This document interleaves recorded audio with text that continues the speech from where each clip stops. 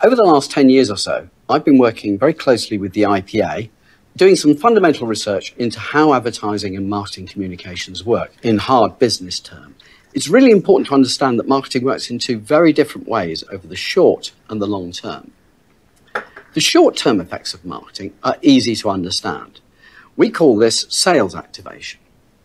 Sales activation is any kind of marketing activity which is intended to evoke a fairly immediate response from the consumer.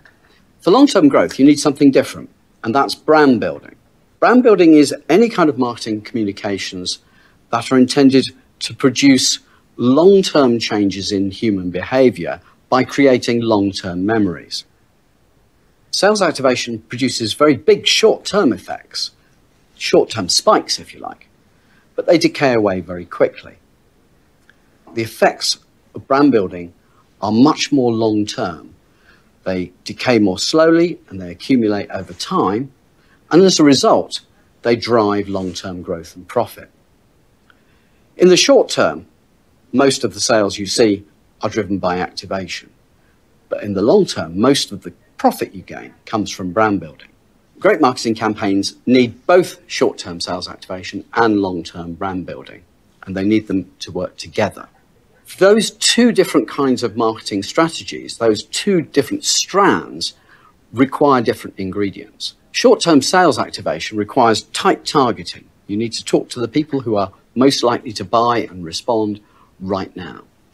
Often in quite rational communications in order to close the deal. Ideally, what you want is to facilitate a response by perhaps including a direct response mechanism.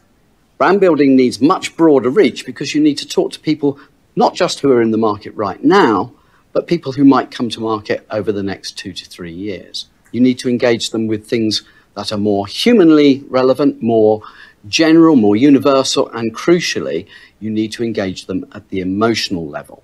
The final ingredient is memorability. Remember, the point of brand building is to create long term memories that influence sales over the long term. So everything you do needs to be memorable.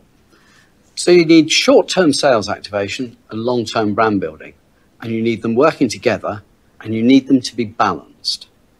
Our research suggests that the optimum effectiveness tends to be achieved when about 60% of the budget is devoted to long term brand building and about 40% to short term activation.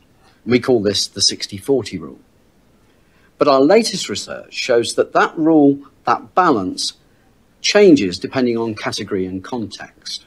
What we're finding in the data is as the digital economy evolves, sales activation is becoming much more efficient.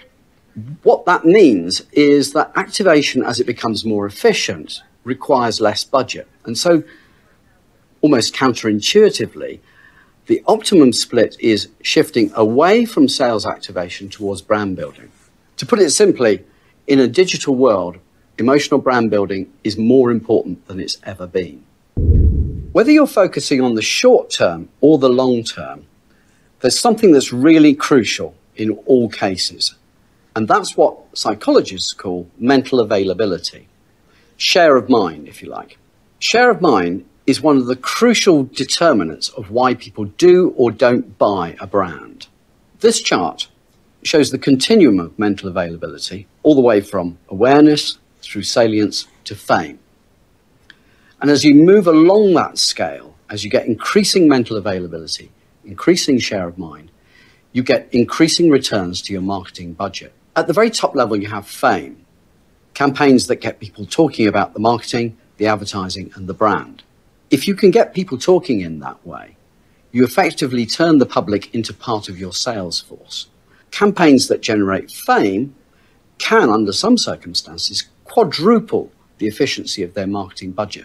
So if you want really disproportionately large marketing effects, if you want big sales and big profits, aim for fame.